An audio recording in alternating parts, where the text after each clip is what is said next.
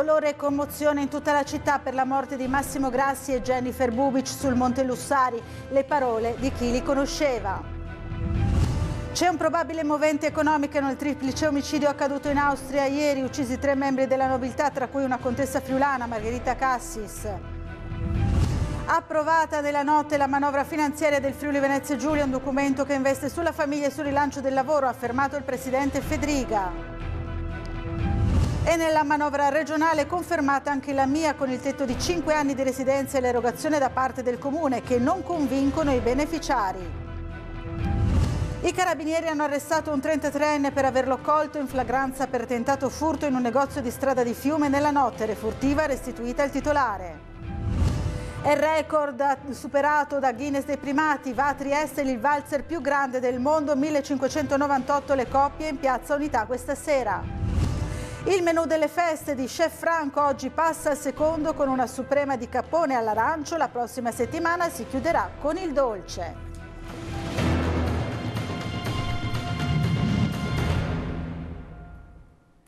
Buonasera dal telegiornale di Tele4. Grande commozione in tutta Trieste per la tragedia in montagna che ha portato eh, via le vite di due giovani, Massimo Grassi e Jennifer Bubic. Vediamo il servizio cercheremo di star vicino chiaramente a un dolore molto più grande, quello dei genitori, della sorella e di tutte le famiglie insomma, che senz'altro hanno perso due giovani, due figli e due persone speciali. È commosso padre Francesco della parrocchia dei Cappuccini di Montuzza nel ricordare i due escursionisti dispersi in montagna da martedì e trovati ieri pomeriggio senza vita, riversi in una pozza d'acqua.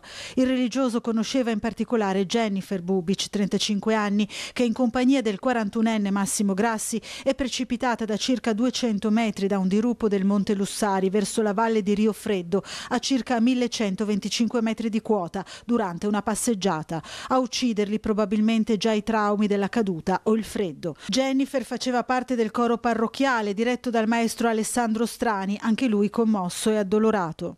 Allora, Jennifer era una corista speciale e aveva una voce speciale, soprano leggero, con un timbro molto dolce e molto molto materno. Io immagino quelle voci che un bambino immagina di sentire in una nina nanna prima di addormentarsi. Nell'ultimo periodo, conoscendo la sua devozione alla Madonna, avevo pensato di affidarle come solista l'inizio e la fine di un canto eh, dedicato a Maria Madre. La strofa finale recita Apri a noi le porte del cielo, dona a noi la luce. Ecco, Jennifer adesso è in cielo e noi purtroppo qui sulla terra ci mancherà, ma ci mancherà molto. È una ragazza che era qui da um, diversi anni qui a Montuzza, che era legata questa, alla nostra comunità, alla comunità del coro, alla comunità dei fedeli che si avvicinano qui alla nostra chiesa. Era una ragazza, potremmo usare tanti aggettivi, e tanti la conoscevano, che esprimeva una certa nobiltà per la sua delicatezza, per la sua gentilezza, per la sua attenzione, la capacità di stare in coro senza mai prevalere e lasciandosi guidare. Ancora cronaca, triplice omicidio della nobiltà austriaca nella giornata di ieri vicino a Vienna. Tra le vittime anche la contessa di origini friulane Margherita Cassis Faraone. Vediamo il servizio di Gianluca Paladin.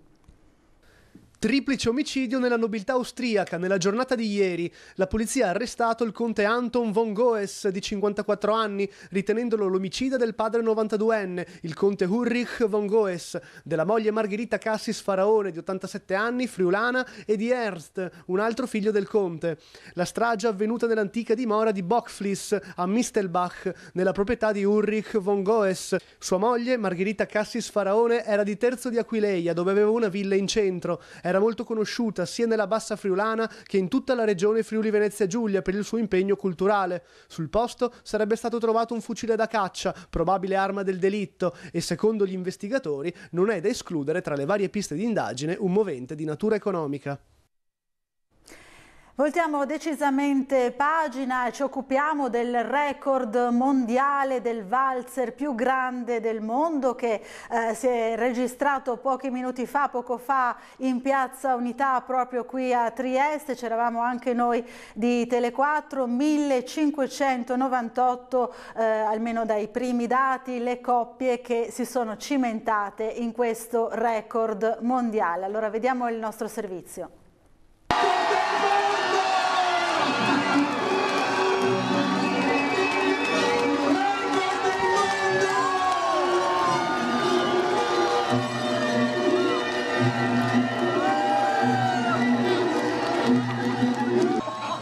Assessore Bucci, 1500 e 98, poi verrà certificato con ovviamente i giudici, qualche numero salterà, ma la cosa importante è che abbiamo sfondato il record un'immagine emozionante, non ho mai visto una città così bella, davvero, veramente emozionante.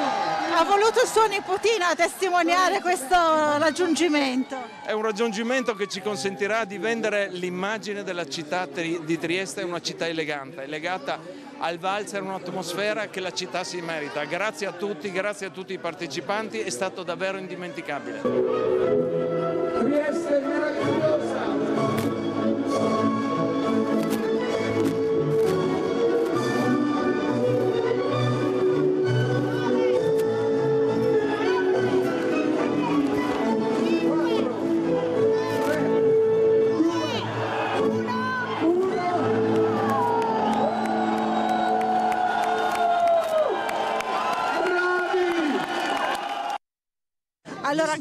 Sindaco per raggiungere questo record ce la facciamo questa volta? Non so se ce la facciamo, però sicuramente la piazza è qualcosa di straordinario, migliaia di persone con questo arredo adobi natalizi è veramente una soddisfazione enorme. In più ieri avevamo un freddo cane, oggi sinceramente non fa quel freddo di ieri collabora, per cui siamo anche fortunati, come sempre del resto.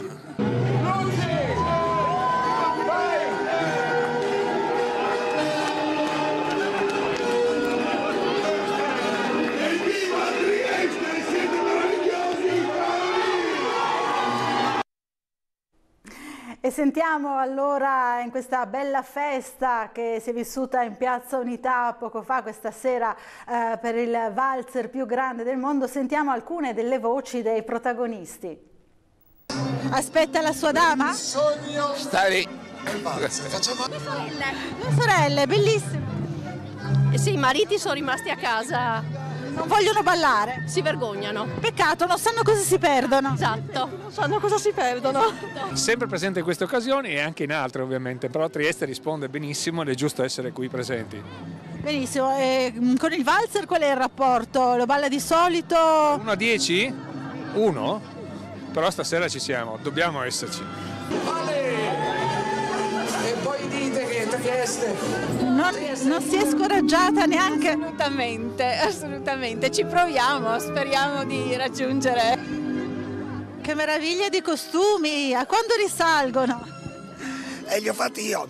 Ah, proprio in casa? Sì, sì, sì, li ho fatti io per un carnevale a Venezia e li abbiamo riciclati in questa occasione. I giudici.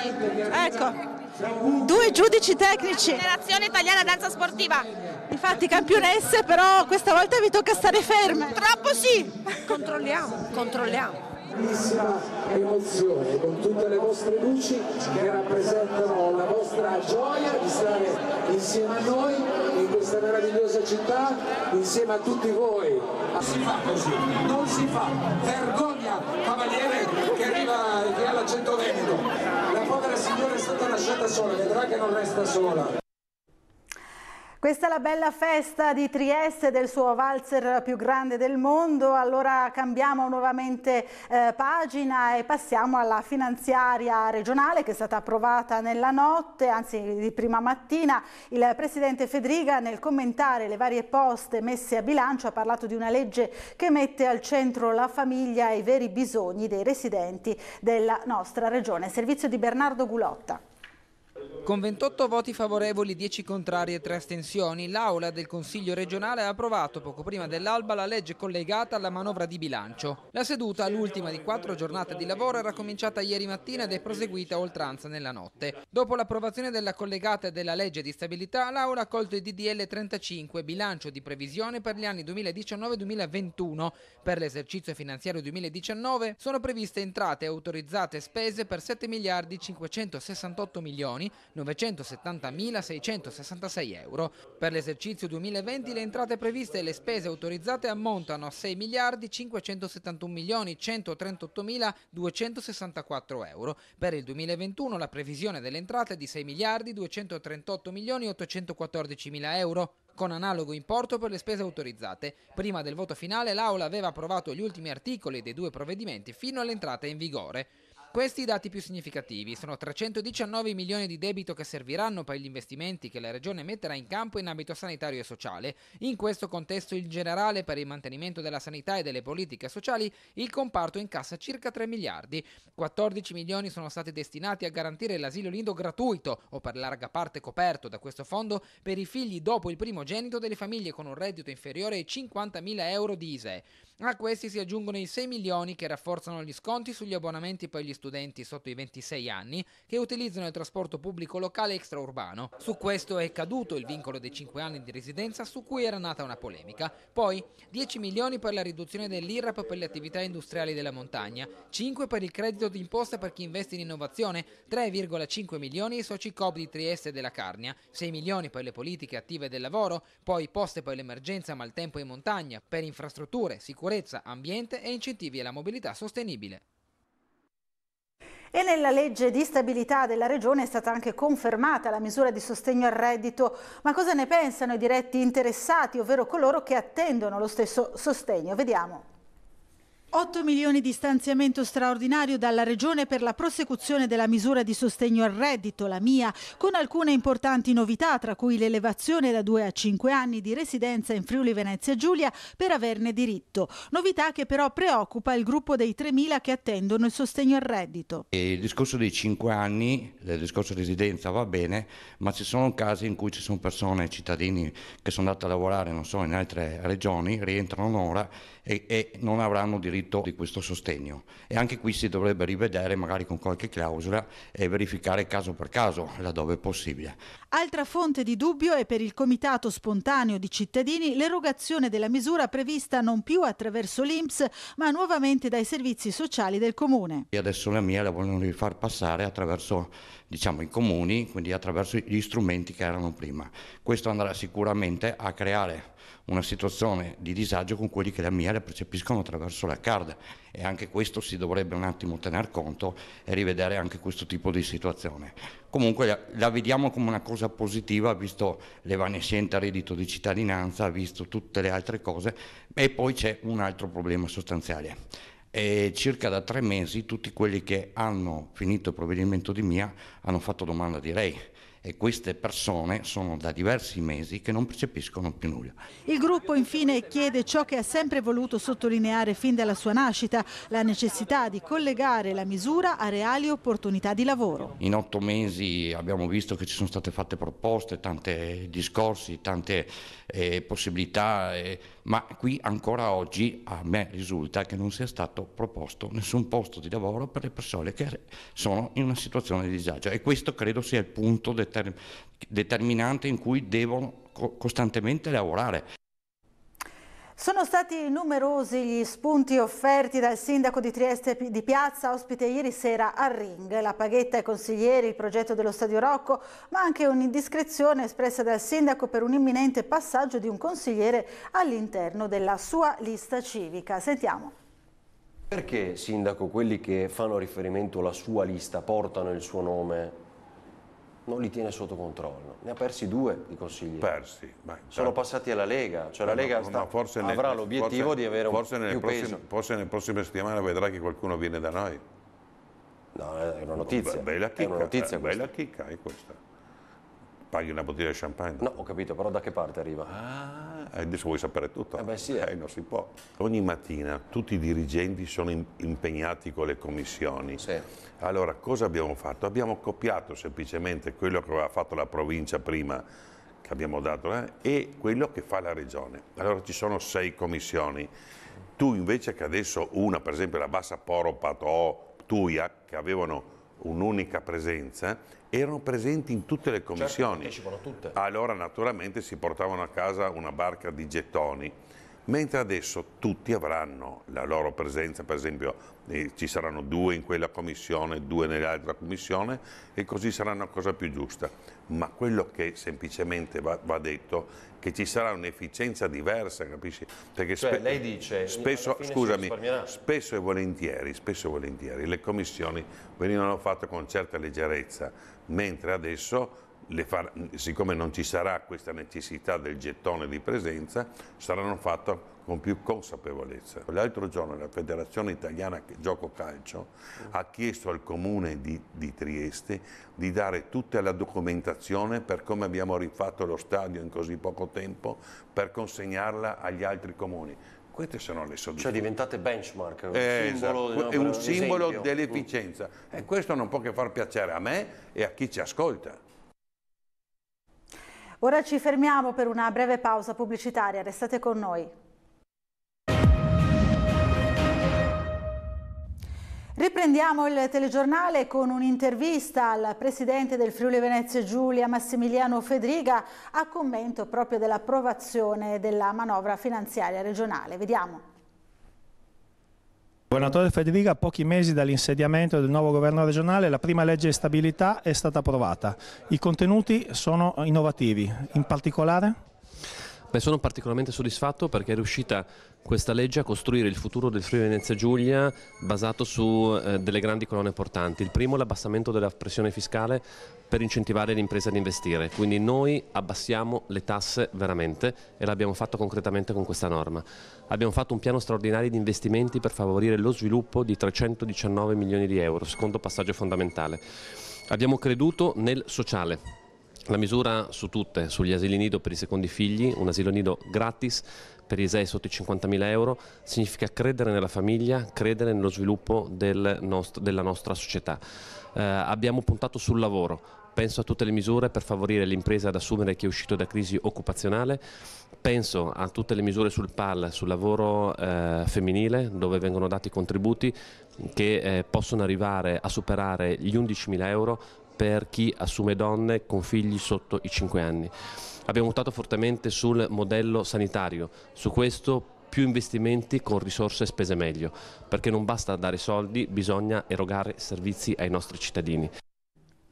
Venezia ci riprova, ora esiste un progetto per installare una piattaforma offshore stavolta al largo del mare di Chioggia. Qualora fossero attratti investitori stranieri si stima che l'opera possa avere un costo complessivo di più di un miliardo di euro. Gianluca Palladini.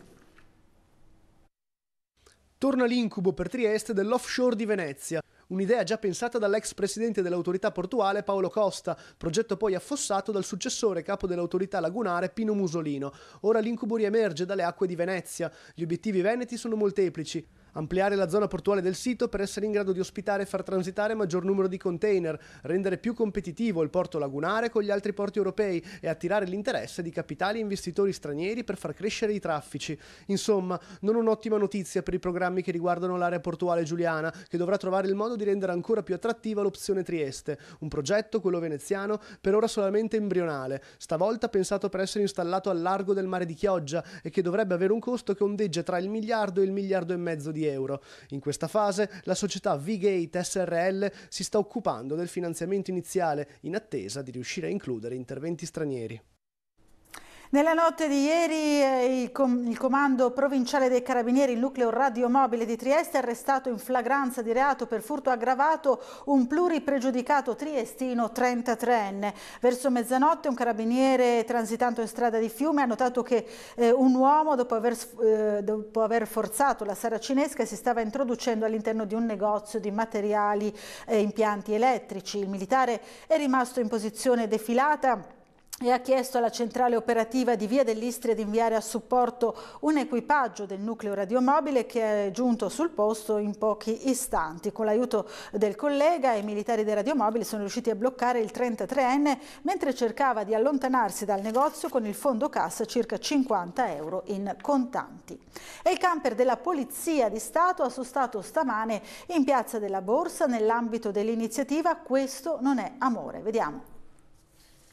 Eh, la giornata di oggi è, eh, rientra nella, in una campagna permanente creata dal Dipartimento della PS eh, da due anni eh, a questa parte e eh, che si intitola Questo non è amore. Tappa al mercatino di Natale di Piazza della Borsa per l'iniziativa della Polizia di Stato denominata Questo non è amore, tesa a prevenire i reati di violenza domestica e stalking. Quindi è una campagna fatta di eh, una serie di eventi da organizzare, di giornate per informare, per avere contatti con eh, le persone, quelle che possono essere le vittime vulnerabili di tu, delle, dei atti di stalking, di stalking, quindi di atti persecutori o di violenza domestica. E nel dare, nel fare rete poi con le altre istituzioni, quale eh, non solo il comune, ma anche il GOAP, cioè gli assistenti sociali, altre associazioni, quali per esempio a Trieste l'Interpares, proprio per cercare di non fare solamente un'attività di repressione, ma come nucleo di coordinamento di quella un'attività che deve, come, come dicevo prima, fare prevenzione. A Trieste le segnalazioni di violenze e persecuzioni registrano un'incoraggiante, seppur lieve, flessione. La città, il trend di quest'anno sicuramente è migliorativo rispetto agli anni eh, pregressi, nel senso che abbiamo meno fenomeni di violenza, meno eh, esigenze di dover intervenire con una mano repressiva, questo sicuramente è il frutto anche di questa campagna preven di, di, prevenzione, di informazione effettuata negli anni scorsi, che un po' è lo specchio di tutta diciamo, l'Italia e del trend nazionale. Il Natale 2018 è caratterizzato dalla presenza in città di ben due piste eh, per il pattinaggio su ghiaccio. Vediamo. Non una ma due piste per il pattinaggio su ghiaccio quest'anno a Trieste. Per i più piccoli c'è Piazza Ponte Rosso e poi quella tradizionale in Piazza della Borsa, con tante novità per il divertimento di tutti. In Piazza della Borsa abbiamo fatto una pista per i più grandi, per le famiglie, un ambiente riscaldato, pattini nuovissimi di ultima generazione della Roxa e in più ogni, ogni cambio scarponi abbiamo messo anche i calzini igienizzanti. Questa pista è una 15x30, eh, non abbiamo avuto poche difficoltà a farla perché Piazza della Borsa sapete che in centro è molto in pendenza, ma mi pare che il risultato è ottimo e si può pattinare splendidamente su questa pista. Vi aspettiamo qui numerosi, abbiamo i pinguini, gli orsetti, i delfini quest'anno, novità, i delfini e soprattutto tantissime luci colorate che animeranno di giorno in giorno questo evento, oltre alla neve artificiale che scenderà dal cielo. Devo dire grazie anche al sindaco e a tutta l'amministrazione comunale che ha voluto fortemente questa pista riscaldata eh, all'interno e con eh, una nuova location, anzi due piste, una per i bambini in piazza Ponte Rosso e una per gli adulti qui in piazza della Borsa. La Triestina riscatta la sconfitta esterna di inizio settimana con una prova di alto livello. Oggi pomeriggio allo Stadio Rocco l'Unione ha battuto per 2-0 la Feralpi Salò disputando un ottimo calcio nonostante l'espulsione di Granoce nel primo tempo che ha costretto i ragazzi di Pavanella a continuare in 10 gran parte della partita. I gol portano la firma di Stefè che ha portato in vantaggio i suoi a poco eh, dalla fine del primo tempo, poi nella ripresa raddoppio di Petrella dopo un'ottima giocata di Lambrughi. Gli unici unici pericoli degli ospiti sono arrivati dal centravanti Caracciolo che però è stato contenuto egregiamente dalla retroguardia eh, Giuliana. Il menù delle feste di Chef Franco oggi passa al secondo, vediamo.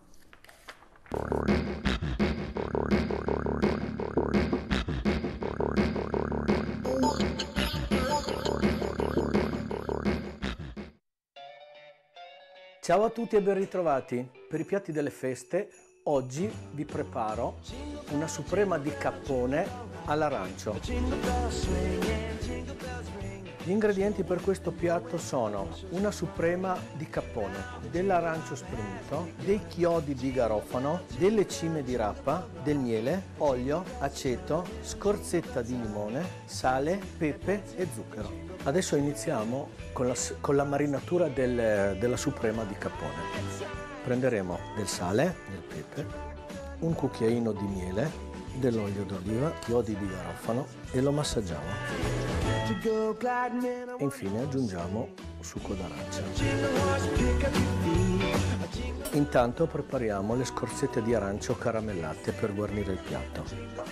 Prendiamo scorzette di arance, aggiungiamo dell'aceto di mele, giusto da coprirle, dello zucchero e adesso facciamo cucinare molto lentamente sul gas.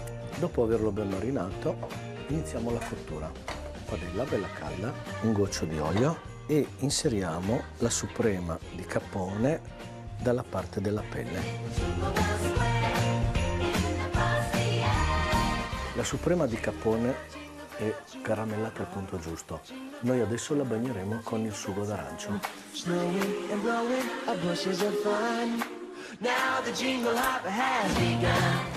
Adesso le scorsette si sono caramellate. Noi le leveremo dal fuoco e poi ci guarniremo il piatto. Mettiamo le cimette.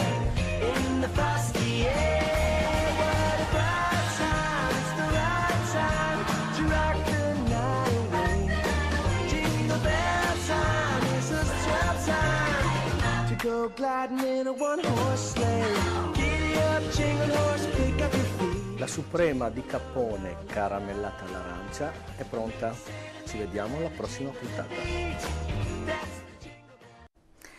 E infine vi ricordo che se volete vedere il, no, il, vostro presepe o il vostro albero di Natale su Tele4 potete chiamarci allo 040 300 500 oppure scriverci a redazione chiocciolatele4.it come ha fatto un omonimo del vice ministro Luigi Di Maio che è il presepe di oggi. Grazie a tutti per averci seguito e buona serata.